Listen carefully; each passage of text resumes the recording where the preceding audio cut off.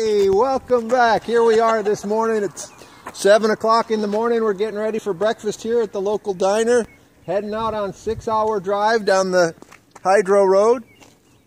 You can see it's a really busy town. We're, we're walking right down the main highway here. There's no cars in sight. But uh, we're in for a good day today. We'll catch it. We'll check in with you later. Bye.